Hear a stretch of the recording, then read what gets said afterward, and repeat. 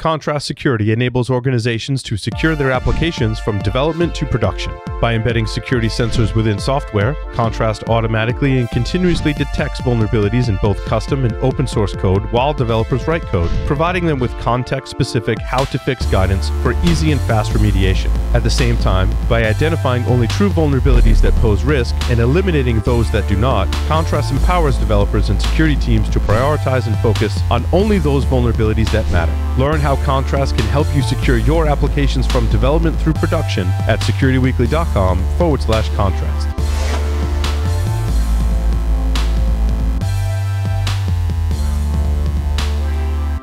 Welcome back to Application Security Weekly. We just spoke with Christian Rioux, aka Dildog, about how AppSec's present needs to move beyond its past into a world of sandboxed apps and decorated data. This is the news segment where we put the present into perspective in apparently a very alliterative manner. I'm still your host, Mike Shema, and I'm still here with Mr. John Kinsella.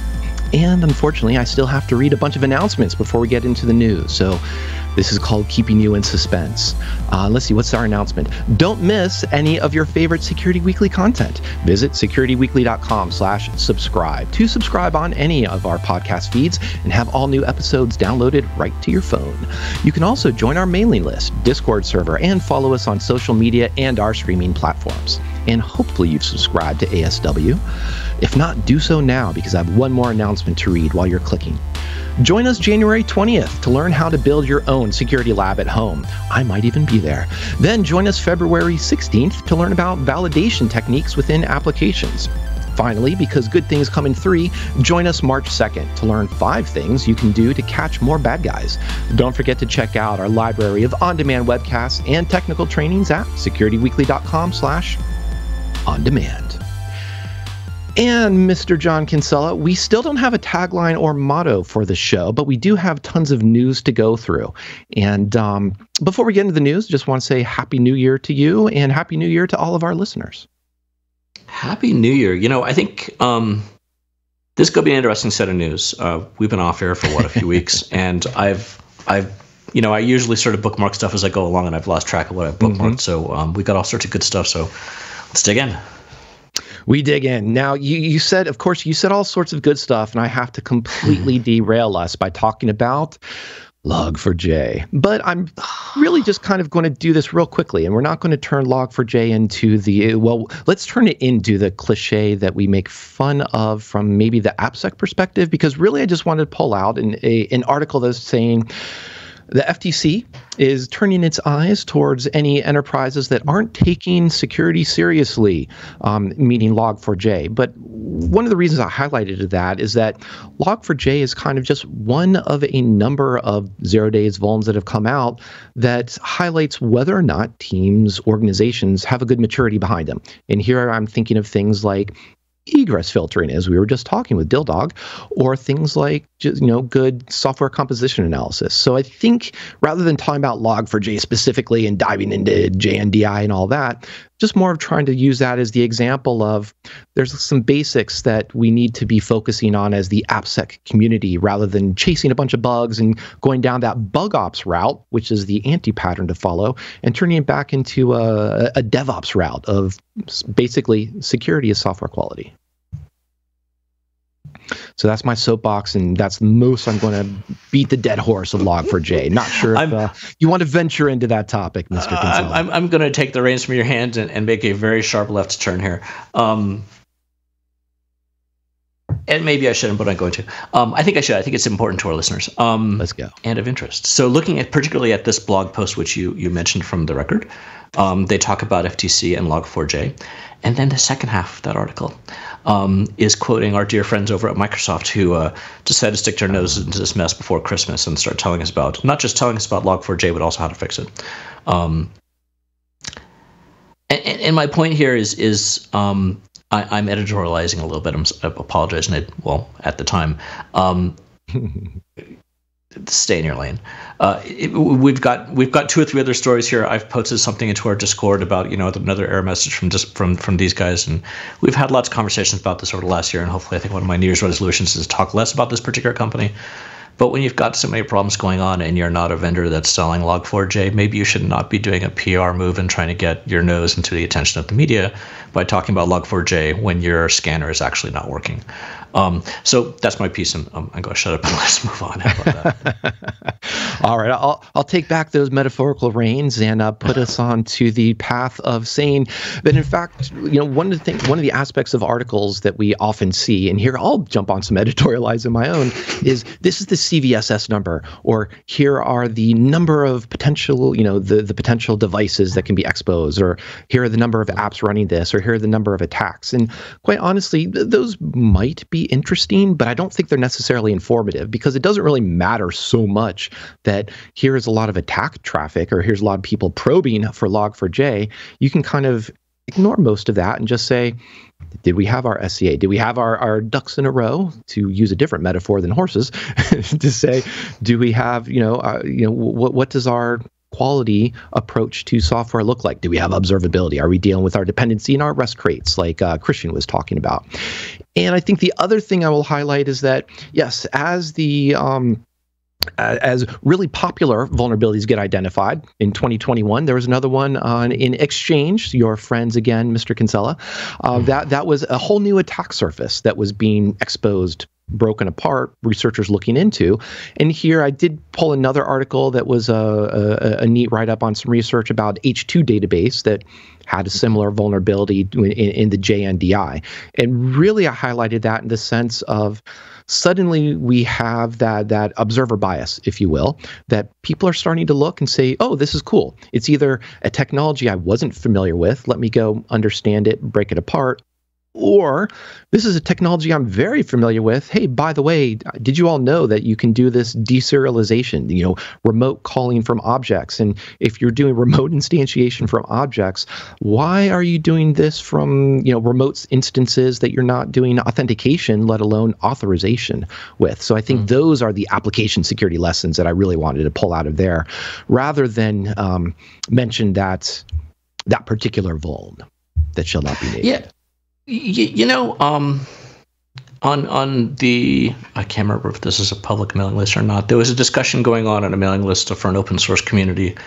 um, around security, but they were talking about, um, oh, there's not, you know, hackers don't really focus on any particular product um, after a vulnerability has been announced. If a vulnerability comes out, it's just sort of it's a vulnerability, everyone keeps going. I'll I'll, I'll call. BS on that.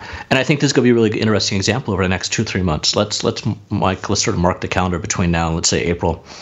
Mm-hmm. My prediction is we're going to start seeing this same type of JNDI ish, um, um, you know, remote execution or ability to do injection like this. I think we're going to start seeing uh, the researchers finding a lot more of this type of thing. So I'll, I'll, I'll say we're going to say three to five more vulnerabilities of this type in the next three four months. How about that? Yeah, th- that that is interesting, and I think uh, to help bolster your case, you even pulled in another vuln in exchange. Now, I think I yeah. didn't have time to look and see who the researchers were here, how this was identified. Um, but the fact that 2021 had a lot of named vulns for exchange, um, here's an interesting one in a year flip. Tell us a little bit about this. Yeah. So my point here is is really not about the exchange itself, believe it or not. Mm-hmm. So, um, God, I can't find the tab. Uh, but what was good? Yeah, there it is. That yeah, it is. Um, in a nutshell, many exchange administrators recognized um, when they were waking up, hopefully not hungover on January 1st, that they were no longer receiving mail because uh, their exchange on-prem exchange server um, had a date flip issue. So once it hit January 1st, 2022, it stopped uh, delivering mail. Um, and this was actually a bug uh, um, they're calling it Y220, Y2K22. Um, I'm not sure if that quite rolls off the tongue, but there you go. Um, but while this is a bug, the, the reason I put this in here um, is not so much about this one in particular, or anything really around this. And I think we've got another story in here similar to this. Uh, but there's at least two things we've got in this week, which are really testing issues. Um, yes. And it comes back to, you know, we were talking about testing a few weeks ago, and, you know, we just had Christian on here. We were talking about, um, again, the testing and how we do some of this type of thing. You know, security really does, does come down to software quality. So here's the thought process and sort of what's been going on in my head in the last few weeks, and we'll keep going. probably for the next three four months, um, is how do we test for this type of thing? If if you're a if you're a small org with like me right now with you know two developers, um, I'm I'm lucky if I can get a good number of unit tests done right now. Right, I'm I'm doing a pretty good job, but still that that takes struggle away from actually writing code and developing features. If you are a large org with, we'll say, ten thousand plus developers, um, I expect you have a little more budget. So I'm, again, I'm not. This is not about finger pointing. This is really about mm-hmm. how does a small guy versus a large guy work if you're a large company, you've got more time to spend on QA. You've got a QA team, you've got automation teams, you're able to write that type of thing. But still, how do you think of all these different cases, right? Does does someone go back in September before you go into the, the Christmas code freeze? Hmm, New Year. Um, maybe we should go and take one of our test systems and just like flip the year forward by about six months or the date forward by about six months and see what happens. Um, you're probably not going to think that like, wow, Y2K, that's, you know, that was 22 years ago i had to do the math um, but you, you, see what i'm saying like how do you how do you figure out what you're going to test like it's you know you can be testing is yes. something and security in general is something you can be very creative about which is part of why i like security right um, you're able to it really comes down to the art of looking at something from a different way than than maybe the quote unquote normal person or the developer who wrote it did and that's what a good qa person is they're creative but how creative should you be getting in your testing um, to find some of those things. Would a, I mean, maybe you could say a fuzzer had found this if you had the fuzzer playing with the, the, the your what system clock or something. I don't know. So it's it's it's that's really there's a really interesting um, thought process around that. For I think, like I said, we've got one or two other issues in here around this. It's like really comes down to how do you test for that. Um, the fix was very easy; they got it an emergency fix quite quickly. But how do you find just a basic bug like that in the first place? Yeah, that's a great point. And I tried to, I, I, I like to be clever uh, in, in, that vein and talk about, mm. you know, QA testing tends to be, you know, looking at use cases and security testing tend to be looking at abuse cases and thinking about how can you be clever about that. Mm-hmm. And um, lots of different people, you don't have to be an infosec to become up to come up with those abuse cases or the, you know, what could go wrong. And mm-hmm. one of the other things I think that's a good tie in here that came across both of our radars is the uh, long names and HomeKit make things break. And here is honestly a quite classic type of basic security testing, let alone even a QA testing. In this case, a researcher said, ah, I'm going to name my HomeKit device a 500,000 character name. And lo and behold, it not only did it accept that name, but then the iPhone app completely bricks the phone and what's unfortunate, the reason it was called out as a kind of a, permanent DOS against the phone is that if you re you know restore reboot and then try to resync to your iCloud account that has the name of this uh, HomeKit device, once again you're back in this mm-hmm. Sisyphean uh, infinite loop of 500,000 character uh, device names, and it's one of those things to say clearly 500,000 is pretty bad. What should have been, what could have been the reasonable limit on a human friendly name for for these devices. Yeah. Um, and this comes back, you know, to, to bring it to circle it back to the previous discussion again. Um, as Christian was saying, is is you know, this is the problem we have with using our default internal um, data types in pretty much any modern language, modern or not, right? It's it doesn't care. It's like this field is an integer. Okay, well, well, let's say this field is a um, unsigned integer. It's always going to be. Well, maybe that's a little bit better, but still not by a hell of a lot. So, um, yeah, th- this was the second issue I was foreshadowing to. That's again testing based, but really it does come down back to what can we do? You know, with the languages, it's a constant thing. Every time I add a new API, or any of us, it's like okay. Where's my validator? Is my validator actually checking all the fields? Is it using decent checks, or have I done all that type of stuff? Then how do I test against that? And that that's all that type of stuff that I just talked through. That's the majority of the hmm. work, right? If I'm t- if I'm running an API that takes a like let's see, this case was a, a, a you know a, a, device name. got an mm-hmm. API. I take a device name. Um, I go and I call the data stores, which will store it to disk, and then, if necessary, store it up to iCloud. Call it 20 lines of code, right? That all that stuff is leveraging libraries we've already written. Now let's take a step back and talk about that validator. Okay, well, um, does it have you know invalid characters in it? Is it too long? Is is there maybe do we care about reserved words? All these different types of things I got to check for there. Then I have to write the test to actually go through and test that again. That's probably going to be more than the code. Well, almost definitely going to be more than the code to actually do the thing itself. So the problem there is we're making our software developers be test writers, or someone has to be a test writer, and that's um, I think that's the the part where none of us have big smiles about when we come time to do this. um, and and that's hopefully you know if if that becomes improved in Rust with what we were talking about, that'd be amazing. Um, so I'll cross my fingers for that. Yes, that was that was definitely the the laugh cry we both had in response yeah. to, to what you were saying there. And uh, wanted to hi- highlight two things, or one thing at least, is that you know the um, obviously the the HomeKit issue is what what brought this across uh, the, this mm-hmm. particular article into our attention. But in the past, we've also seen just long strings. What could go wrong? Well, if you have a long string that you can submit as a password, that's a great algorithmic type of DOS. Meaning, if you can have a just a one bit megabyte, one gigabyte password for that matter, you could spike a CPU as the application tries to run bcrypt on it, just to compare the the the, the hash of whatever this ridiculous mm-hmm. password is against what it's stored. So there's there's a lot of interesting things that could potentially happen when you have these not quite unbounded, but pretty significantly largely bounded uh, strings. And what you're talking about there, uh, John, just now about testing, uh, that's I think is a great segue. So thank you very much for that into CDN cache poisoning. And this is a mm-hmm. topic that typically I, I will have to admit that uh, I've you know a bias of a, almost a yawn every time I come across cache poisoning because it's sort of a yeah okay, but it, it tends to need a lot of what if scenarios and kind of the, the the planets must align before this to be effective or to have a real impact the researcher in this case wrote up a couple great examples of how they got paid bounties for it. So that's legit. You know, researcher found some bugs, got paid, those bugs got fixed. But the fundamental or a fundamental aspect of this from an AppSec perspective is the normalization. And it's these normalization mismatches that make this CDN, you know, this cache poisoning pretty consequential, both from this the sense of how do you normalize casing? What about paths, directories, including dot dot slash? So, yep, again, another one of my biases. You got my attention with that. In a URL fragment, and that fragment is actually used as part of the key into pointing to different uh, cached items. So, so that was all pretty interesting, and it, both in the sense of URLs, headers, and that sure they look like ASCII, they look like you know just human readable text, but suddenly casing, spaces, dashes, all of those little nuances make a big difference when they come into how this HTTP1 server, HTTP2 server, this this you know Nginx, Apache, IIS, et cetera, are handling each of these different uh, strings. So lots of work still to be done, it seems.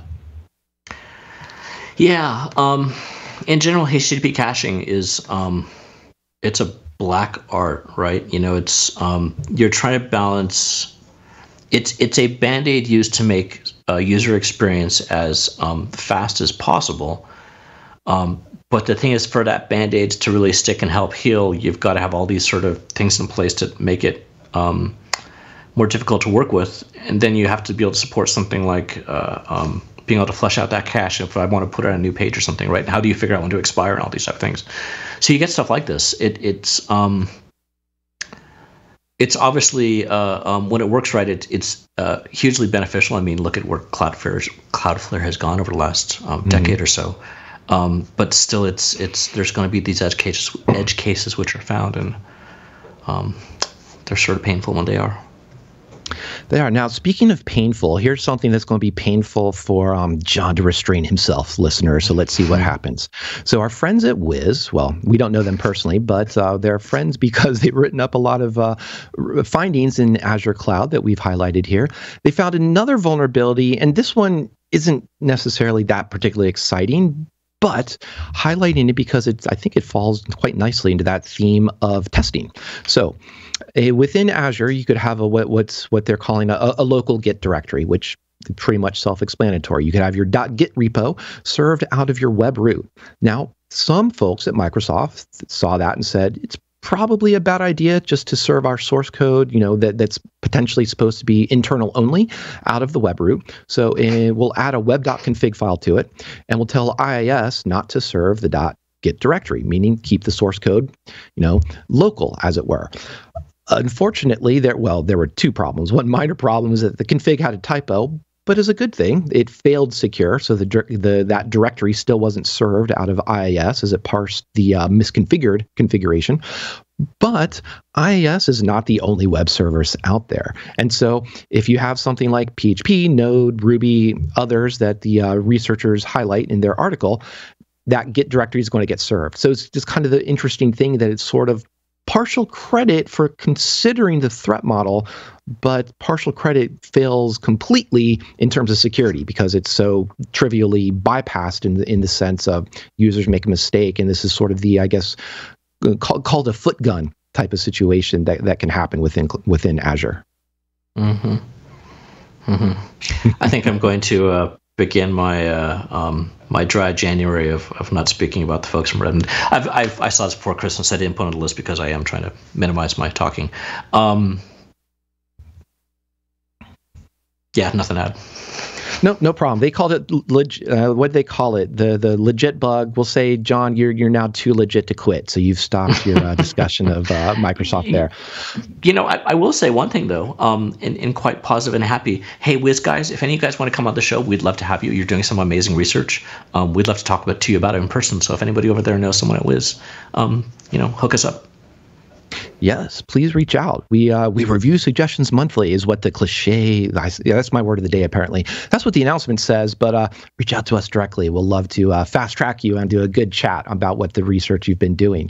I think this is also a chance to turn our attention towards some positive things. Now, we highlight bugs not to pick on bugs or honestly or pick on what happens with them. We use those bugs, especially well written write ups, to demonstrate communication styles, to demonstrate how to learn about AppSec. And the reason I'm kind of uh, going in, uh, into this a little bit uh, more verbose is that we've kicked off 2022, new year, new show, and I want to give uh, just a sense to listeners what they can expect throughout the next several months.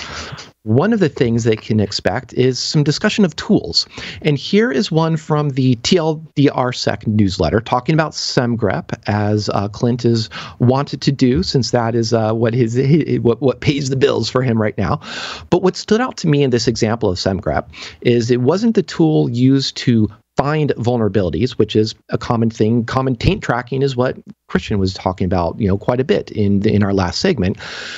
And you do this successfully by building the, the AST of an application. So now you have semantic understanding of the application, and you can make a good distinction between this is a function name or this is a function argument versus this is a uh, uh, documentate this is a comment. And that way having that semantic understanding means you can avoid a lot of false positives within that type of um, source code analysis. But what you can also do if you have an ast is build it and then modify it. And in this case it was being modified in a way to create some to improve some default configurations. So I thought that I I mentioned that maybe once or twice last year, but here was a really good example of what that I just wanted to reinforce is looking at a tool like SemGrep to not just find the flaws, but find and refactor your code into something better. So uh, you know that's the uh, what is it? We we don't have security week AppSec, you know, application security weekly awards, but um, that we will just make one up on the spot, and this goes to the award for January of getting my attention. um, one clarification on this first. Uh, I think this is written by Jamie Flanagan from uh, Terra, uh, excuse yes. me, HashiCorp not yes, by uh, our, our, buddy Clint over, who's also doing the TLDR stuff. Um, and uh, you know, as you know, welcome new listeners. Happy 2022 to all of you. Uh, for some of you who might be tuning in here, this is also a good example of when um, uh, Mike and I don't always agree. He thought this would be a positive, happy thing to talk about. He forgot that I spent a good chunk of last year working for an IAC security company, and I am um, getting great flashbacks of the trash fire, which is IAC security. So, um, with that said, uh, I didn't know that SemGrep was doing autofix. I thought that was interesting, so I dug into this article. Um, it, even with even with once you have that parser and once you have that model done as you're describing, um, this type of stuff is is fairly complex. Um, so it, it's I mean it, a lot of this is being made easier by SemGrep, and that's what made this as, as mm-hmm. short as this blog post is. But at the end of the day, um, you know, if you look at a Terraform script, um, which if I remember right, I always get it backwards. YAML, yes, YAML. Um, so if you throw that into your normal Go parser or any type of off-the-shelf parser, and there's a bug in there, he's going to come back and say error at line one, column one. And if you look at that, that's going to be your open curly brace, not the actual line number. So actually figuring out where this is in there, it's a bit of a pain in the butt. Um, so you have to have a separate YAML parser that actually does the parsing versus the display. And then, as he was saying, that comes back to the line number issue in there with how you find it. Um, so it, it is if, if someone wants to, you know, if you know ISC is still quite popular, it's still something that um, the scanners are super important to be able to run through your code, make sure that you're not having wide open doors, as as we were talking about again in that last segment, which we keep referencing. It was a good segment. Hope you've listened to it. Um, but if you're doing IAC, you need to do some sort of scanning. Uh, this gives you a sense of the difficulty behind um, parsing those languages and running with them, mm-hmm. not from a security point of view, but also from the runtime point of view. So if you wonder why in Terraform things seem like why haven't they added this one little feature which seems so simple to me? Um, beside the fact there's quite a lot of issues open on the HashiCorp uh, uh, site around that, and people asking why haven't you implemented all these things because they're fairly difficult, but it gives you a sense of of why that actually is. So um, neat article. I'd love to hear more people talking about actually doing um, autofix with um, SemGrep um, or any of these tools. I know my previous employer was doing autofix, but that was not the public so open source version. Um, it, it's pretty difficult to do. So um, fun space to, to get into for the CS nerds who want to think about compiler stuff. Indeed, and everybody has good test suites so that these auto fixes can just roll through cleanly. So um, oh, I'm sure definitely. that's what the case is. mm-hmm. mm-hmm. Um, uh, see, we do agree on things occasionally, Mr. Kinsella. Um, but we also bring in a, a, positive aspect of looking into looking back onto 2021. You highlighted an article from um, I think on the, from Portswigger and yep. uh, the Portswigger site, and I, I highlighted just uh, ThinkstScapes quarterly Q, Q for 2021, um, just about you know what what happened last year. So start us off with some things that stood out for you. Yeah, so um, our buddies over at Portswigger uh, with their awesome blog, they've been working on the last. Well, it's been on our radar the last year or so. Um, they, you know, let let's look at positive. Let's stop being snarky for a second, and and you know, let's start the timers. Let's see how long we can stay. Um, but you know, let's actually look at some positive things here. So they've got, I think, it's seven or eight things in this list. Um, SolarWinds. One of the interesting ones is Supreme Court liberates security research. Uh, talking about how um, they've put uh, they've sort of narrowed down uh, some of the um, uh, aspects of the Computer Fraud and Abuse Act (CFAA) here in the U.S uh, and when that would actually be used to actually try and sue a hacker because we consider that bad. OWASP Top 10 got a refresh. We talked about that a lot last year. Um, so they actually have some good points in here, uh, which uh, um, you know remind us that we are actually making improvements, and um, it's not old grizz- not all old grizzly uh, security people going, "Damn it, why isn't this getting any better?" So uh, there is light at the end of the tunnel there is light at the end of the tunnel. There's also really interesting research that's been going on, and uh, that's yeah. what the Thinkst has been highlighting their quarterly reviews of it, which is really neat. And mm-hmm. I, I highlighted for two reasons. One, it's just a great format of how, a way to summarize a whole bunch of technical talks. With here's a summary of what the researchers talked about. Here are two key takeaways, and here's an image that illustrates some key point or gives some flavor for what the conversation, you know, the, what that conference presentation was like. And I read that with with the idea of, oh, this is actually pretty interesting if you work in AppSec product security teams and are trying to distill a lot of complex information about various risks, about various threat models into a report that probably won't be, you know, a, a 50, 60 page PDF, but that spirit of what's the summary? What are the takeaways? What's something that really highlights the flaws that you're, or the risks that you're highlighting? So there's a communication aspect there I want to highlight as well as just what's notable. And uh, it's the type of thing that maybe you, you might not have azure active directory endpoints in your environment or hopefully you're not dealing with ransomware negotiation now after log4j but there the this uh, article highlights a couple. Uh, uh, I'm losing my my uh, words here as my cat's coming to step on the keyboard. As uh, com- presentations on, on, these topics, and it's pretty neat to talk to just to see what's going on in the industry, where is industry moving towards, and what can we learn about other things. So, some cool cool stuff to to read about as you as you start the year off. There's a lot of cool stuff in here. This is 30 pages of cool stuff to read. Um, and the stat that caught my eye is they've got a table on, I don't know, page four, um, talking about where they've gathered all this data from. yeah. Uh, I got an eyeball. It looks like about 20 different talks, excuse me, 20 different conferences, a total of 652 different talks. So they've done some good summarization for you here. It's 30 pages, and that sounds like a lot until you realize it's 600 pages. Excuse me, 600 papers that they are sum- summarizing. So, um, definitely grab a copy. Um, great read. These guys are always doing awesome stuff. Um, I always look forward to this one. So uh, I'll, I'll stop talking and give you more time to read it. How about that? Sounds good. I think the other thing that I was that also caught my eye is that an article um, again from um, the record about Salesforce to require MFA mm. for all of their users, and this stood out as a positive thing to me because one, that's just a very forceful move towards MFA, and we saw in 2021 Google is starting to do this with uh, their Gmail as well, just saying we're going to require MFA because it has a 99%, a very very high percent um, success rate against blocking the most types of phishing accounts and uh, phishing attacks and account takeovers. What's interesting about this too is that Salesforce is also drawing the line in their threat model in, in stating that if you have a one-time passcode that's being delivered, you know, the TOTP, um, something like that, they're saying the delivery mechanism cannot be email or SMS text messages. And they're highlighting basically just saying that those me- delivery mechanisms are much more prone to compromise. They're, they're easier to mm-hmm. target rather than getting perhaps physical access to grab your phone from an authenticator app or ideally from a, something like a, a YubiKey or a, you know, your, your Touch ID that can use a WebAuthn.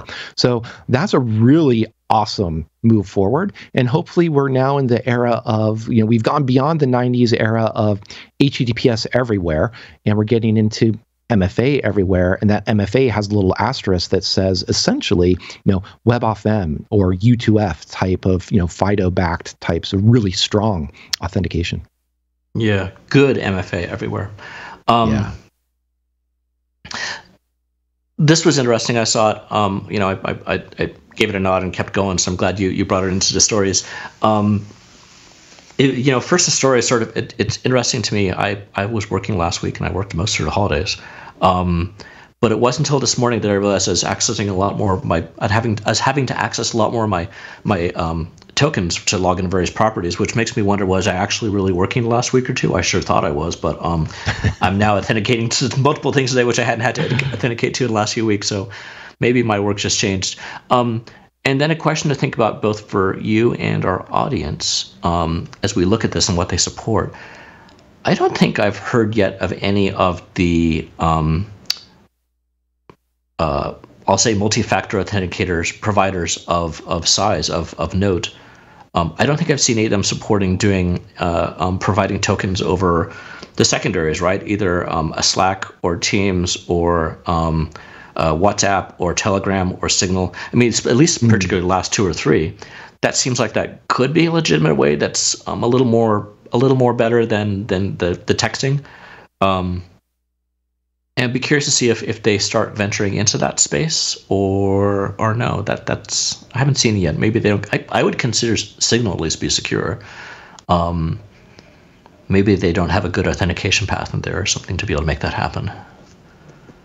Yeah, that's interesting. That's an interesting thought um, thought process there because it gets into the idea of threat modeling and thinking about compromising the app and signals identity based on just your phone number, which yeah. maybe that's exposed. You know that that's part of the the SIM swapping um, risk that they're that that mm-hmm. Salesforce is highlighting here. But you know something like WhatsApp with end to end encryption has stronger authentication of those those endpoints. You know, the identities involved here. Maybe that is that uh, a path for you know um, what am I getting at? The push uh, or, or touch or or something for your mm. TATP. TOTP. Um, this is where you listeners. This is our real-time threat modeling discussion as we brainstorm now. Thanks for good, good derailing question. Well, not derailing, but good, uh, good question there, John. Uh, we are wrapping up though. We've only got half an hour for these segments. They go by quickly, but I did want to, as is my want, uh, reach back into the past. And this was actually a, uh, for, for two reasons. One, a vulnerability that was released on January, early, I think January 4th in 2000 from Dildog himself um, about a the Pam Slam vulnerability, which at the time was pretty well known or, or pretty. Um, uh, popular. And what's neat about it, it was just again has a dot dot slash as part of the attack payload, and it was demonstrating how to bypass the uh, pluggable authentication module within Linux, specifically Red Hat, and point to an alternate configuration file that was that could lead to a local privilege escalation. And the reason I'm highlighting that is that it was also the type of bug that is not necessarily that is not a um, a memory safety issue. So while I will be a big extoller of moving towards Go, moving towards Rust, I still don't want to lose sight of the fact that there are still plenty of vulnerabilities that we can see that are not memory safety issues that have plagued us in the past that I'm sure are going to hit us in the future. So that's a little bit of my parting thoughts for this uh, opening episode of 2022. Uh, John, where where let us know where what, let peek us let let's peek inside to your brain. What what what are you thinking of as we enter 2022? Oh, don't do that to our listeners. That would be horrible. Um, I, I liked this uh, uh, this little uh, story you threw in here from the point of view of when you read through it and you look at the the, the downloads, the available fixes. Uh, one of the ones that's mentioned is uh, the good old DEC Alpha, which was near and dear to my heart. So that brought back some fond memories. Um, yeah, let's have a good 2022. What I really want, as usual, is more feedback from our listeners. So guys, reach out and talk to me.